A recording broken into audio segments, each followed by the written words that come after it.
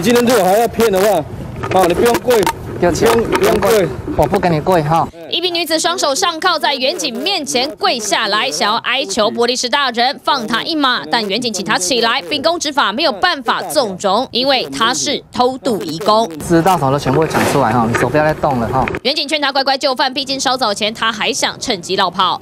大家听讲，这名女子是一名五十二岁的越南籍移工，会被远警盯上，是因为她骑机车违规逆向，被远警拦下，要求出示证件，开始支支吾吾。警察都在扒你，儿子骑进来，驾照先上，先下来，来下来。因为是偷渡，什么资料都不会有，趁着远警查小电脑的时候，拔腿狂奔，跑了五十公尺左右就被逮回来，才坦诚自己是偷渡来台，并表示他八年前曾经在中部工作过一段期间，后来为了赚更多钱，只好逾期拘留到处工作。当时就被逮过一次，遣送回越南。去年六月，他听从非法中介的建议，向亲戚借了十五万给偷渡集团，持了假证件登上观光游轮，趁游轮停泊在台湾附近的公海，再转搭小船偷渡来台。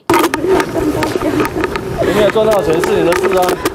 台湾的法律规定的是这样啊。陈姓女子偷渡后，在台湾工作一年多，存了一些钱，本来想赚到第一桶百万金，才要回越南，结果因为骑车违规，逃不了遣送回国的结局。TBS 新闻苏泰罗星台中报道。